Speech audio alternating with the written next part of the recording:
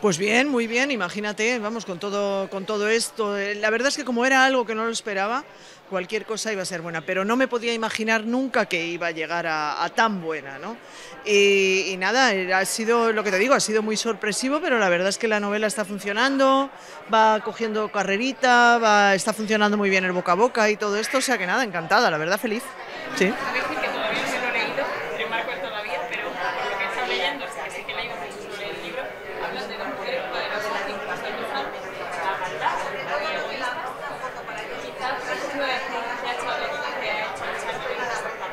Claro. Sí, sí, absolutamente. Lo que, lo que realmente lo que he escrito son los personajes que a mí me hubiera gustado que me hubieran dado en algún momento.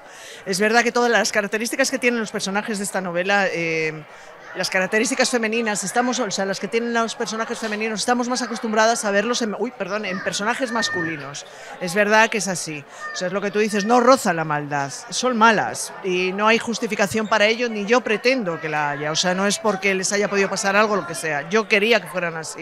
Entonces son mujeres egoístas, manipuladoras, que no quieren a sus hijos, que lo único que quieren en definitiva es eh, arruinar una a la otra y que para hacerlo son capaces de cualquier cosa. Y la novela lo que habla son de estas de estas dos mujeres, la historia de estas dos mujeres y las consecuencias que tienen los, sus, actos en el pasado, en el presente. Y lógicamente las principales víctimas de sus actos son los hijos, claro. Bueno, de alguna manera, claro, es, es eh, en mi cabeza, quieras o no, funciona con imágenes y es verdad que a pesar de, lógicamente, que yo leo mucho, muchísimo, pero también es verdad que leo muchos guiones, entonces sí que tiene cierto tono. Y sí, en principio parece que la cosa va para adelante, no para cine, será serie. No está confirmado del todo, o sea, todavía no podemos decirlo y todo esto, ¿no? Pero vamos, sí que ha habido novios, hay algunos interesados y además estamos esperando a ver cuándo nos dan el, el pistoletazo definitivo, sí.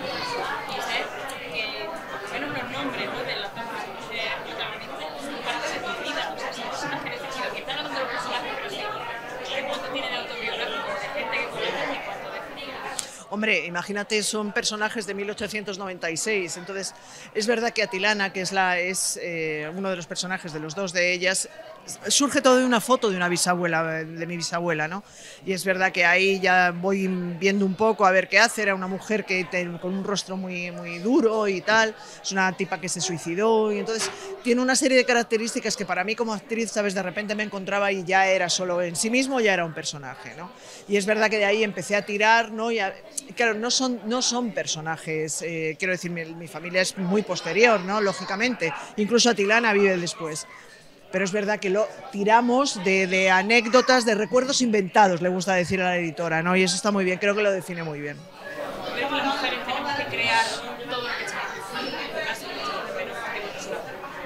Bueno, pues si no, esté, si no está, habrá que inventarlo. Sí, sí, esto es indudable. Lo que no podemos es parar por algo que no esté. ¿no? Eso a mí nunca ha ido conmigo. Siempre para mí ha sido si no está, se inventa y si no se intenta y en el intento seguro que se encuentra alguna otra cosa. Sí, creo que todavía nos queda muchísimo a las mujeres por hacer.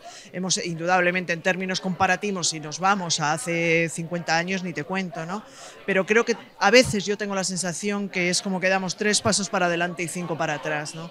Me parece que, o sea, esto lo comentábamos y simplemente que haya, que parece que haya que reivindicar que las mujeres también, o sea, que somos malas, pues hombre, esto es como muy, muy, muy de, ¿no? de, de, para atrás. Pero sin embargo, bueno, parece que sí que hay que hacerlo. Entonces, bueno, pues hay que seguir, sí, sí.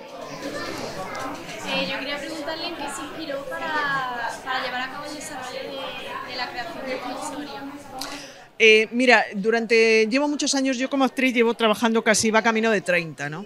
A la hora de, trabajar los personajes, yo escribo mucho sobre los personajes. A mí me gusta inventar cosas con ellos, colocarles en situaciones muy extremadas, eh, para, para ir viendo de esa manera, ir creando un marco de improvisación con los personajes que si en un momento determinado el director me puede pedir algo, sabes poder trabajar con ello. Esto lo llevo haciendo mucho, muchísimo tiempo. Entonces, a la hora de trabajar yo parto de los personajes. En esta novela parto de los personajes, hace mucho tiempo, ¿no?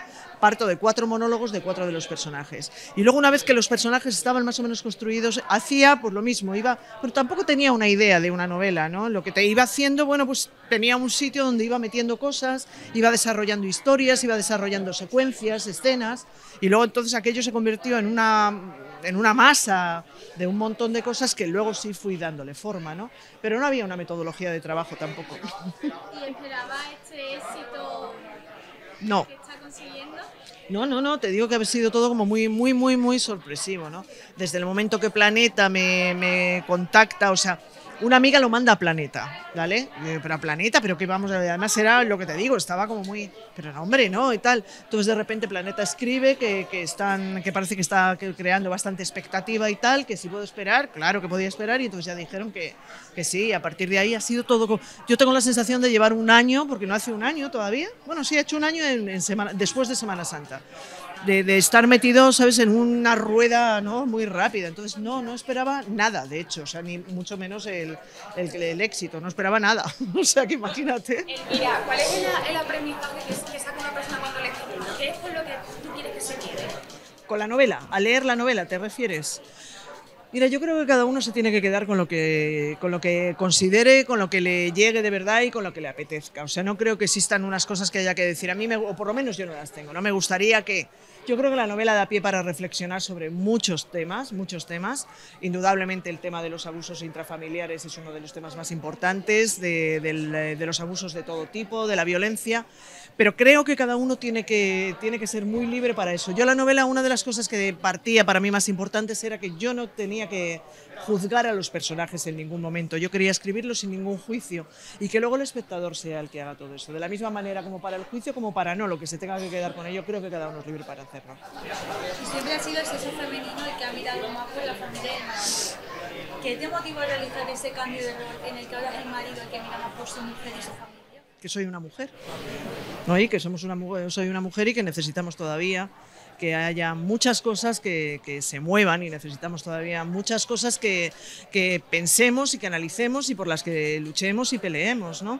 Y en esa, en definitiva, no es nada más que una manera de legitimar lo que somos. Tengo la sensación siempre que las mujeres que vemos estamos de alguna forma sesgadas ¿no? en la ficción, o por lo menos las que a mí me ha tocado hacer. ¿no? Y creo que en la vida nosotros somos mucho más completas, no estamos solamente de escorzo, ¿no? y me parece que, que eso hay que legitimarlo, indudablemente. Que al mismo tiempo dices, parece mentira que tengamos en el año 2023 que legitimar determinadas cosas, pero bueno, tenemos que seguir haciéndolo, es indudable. Y como bien has dicho, la consecuencia de los padres muchas veces recae en sus hijos. ¿Qué piensas de eso? que siempre recae en los hijos, en los, en los, los hechos y las actitudes de los padres, las consecuencias que nos los sufren son los hijos, para bien o para mal. Los niños cuando nacemos el principal referente que tenemos, o el único referente, no, el único no, ¿no? Pero el principal referente son los padres o son los abuelos, quiero decir, existen unos referentes. En base a la mirada de esos padres hacia los niños, es indudable que vamos creciendo y nos vamos desarrollando, ¿no?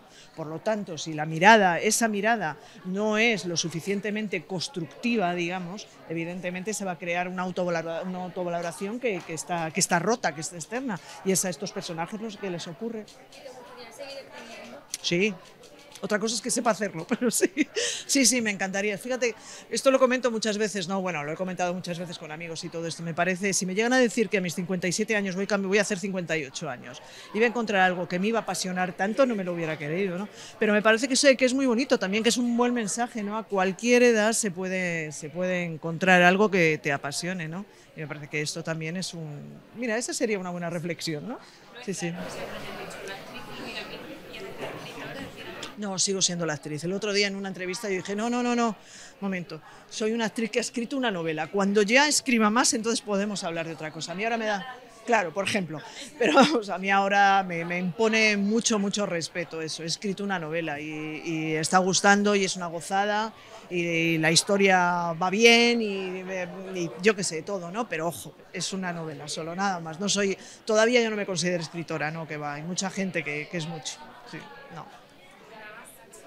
Gracias a vosotros, muchas gracias de verdad. Gracias.